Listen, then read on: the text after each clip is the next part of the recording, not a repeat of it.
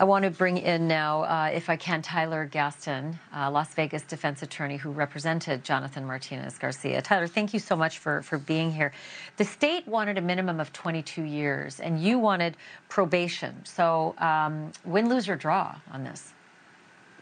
Well, I mean, I feel like it's a loss, certainly. But uh, I guess I'll, I'll just kind of talk about the disparity there between what I asked for and uh, what happened and what the state was asking for. Uh, but I've heard on the show a couple times, obviously referring to him as a violent teenager, and I think while he did this violent act, I think that misses the mark. I think it misses uh, the situation a little bit. Obviously, what this teacher went through is tragic and sad, and um, certainly regrettable, of course. But just to clarify, Jonathan, to add a little bit of history here, Jonathan's not a sexual deviant. He's not uh, causing problems. He's not committing other crimes. He doesn't get in trouble at school. He doesn't get in trouble at all. A lot of times you see with these would be so-called violent teenagers, these budding monsters, so to speak, you see them have other kind of crimes they commit, other kinds of examples of sexual deviancy and whatnot. You don't have anything like that with Jonathan. In fact, he was a kid just like any other kid. He, you see him in his J, junior ROTC uniform because the day of the incident, he was on his way to an award ceremony to, for junior ROTC. He was mostly an AB student. He was into robotics. He had won an so award for what happened? science. What, I mean, right. that you're so, describing someone who was not the monster that absolutely was in that classroom. You said tragic, sad, regrettable. Exactly. I'll add horrific. So what happened? Sure, sure. He so he had asthma his whole life. He uh, gets prescribed an asthma medication called Montelukast uh, in November of 2021.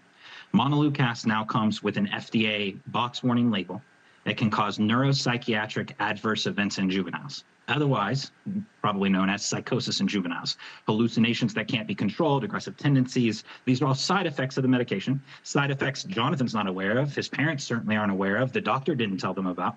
These are side effects that I believe the, the manufacturer of these drugs are being sued in a class action for.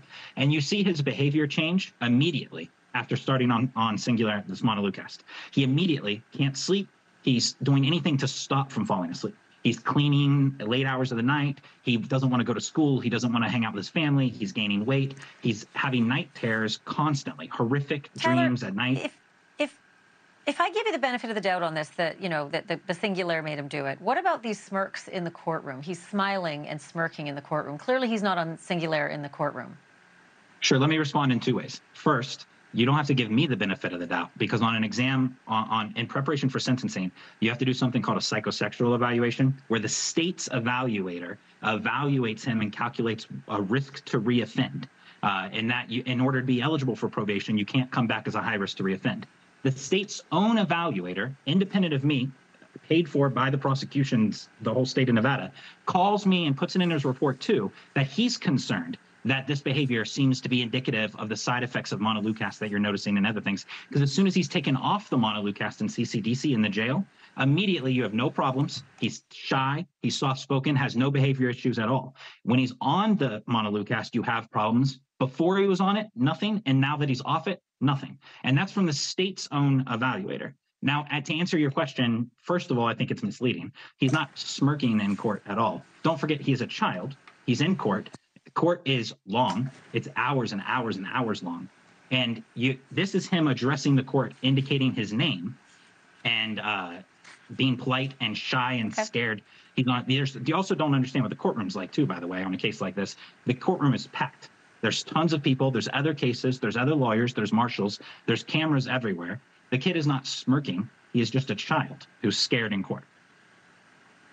Okay. Well, I appreciate you giving us the information, Tyler Gaston. It's a sad case, and as a defense attorney, it's a tough one. And you know, you're doing you're doing God's work by being a defense attorney. I always say thank you for being on the show. Thanks for having me. Thank you for watching. Go to newsnationnow.com to find News Nation on your television provider. And don't forget to click the red subscribe button below to get more of News Nation's fact driven, unbiased coverage.